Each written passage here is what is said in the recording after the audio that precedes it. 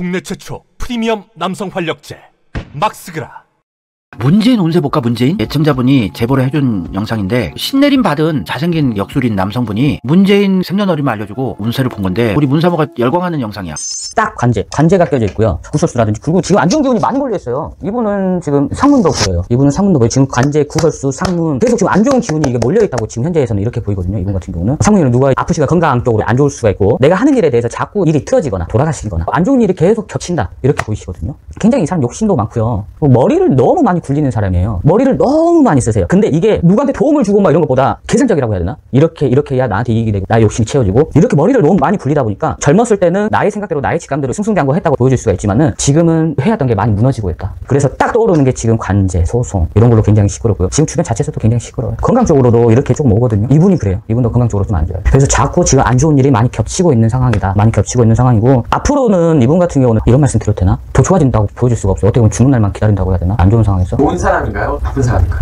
이 사람의 얼굴이 두 개예요. 앞에서는 좋은 사람이 척하는데 완전히 나쁜 사람이라고 보여져요. 앞에서는 자기가 좋은 사람이라고 이렇게 딱 하지만은 속은 진짜 시커먼 사람이에요. 무서운 사람이에요, 이 사람. 무슨 생각을 가장 많이 하실 것 같아요? 지금요?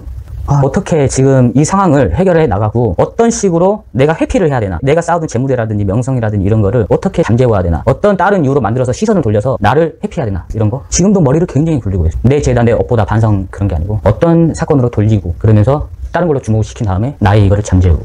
그러시는 것 같아요 장점 있나요? 장점이요? 이 사람의 장점이요? 머리는 좋죠. 굉장히 좋아요. 머리는 굉장히 좋아요. 머리는 좋은데 머리가 좋기 때문에 지금까지 어떻게 보면 잘 살아왔고 승승장구했다고 보여줄 수가 있는데 머리가 좋아서 굉장히 똑똑하다는 거죠. 이게 장점이고 이익 창출 어떻게 보면 다른 사람 어떤 이유로 뽑아낸다, 단 나한테 도움된다 이런 쪽으로도 머리가 굉장히 좋은 사람이에요. 그게 장점이라면 장점이고 단점 속이 시커멓다. 무서운 사람이에요. 누군지 밝히지 않고 네. 마무리하도록 하겠습니다. 아, 네. 괜히 더, 더 그러네요. 문재인 전 대통령이요. 진짜 뭐 회피하려고 한다는 그런. 네. 언론 분야님. 속이 시커멓다 이런 건 또 아닐 수도 있겠네요. 제가 속이 이 사람이 앞에서는 좋은 사람이지만 속은 시커멓다 막 그랬잖아요. 문재인 지지자들한테는 완전 난리 날 수도 있겠네요.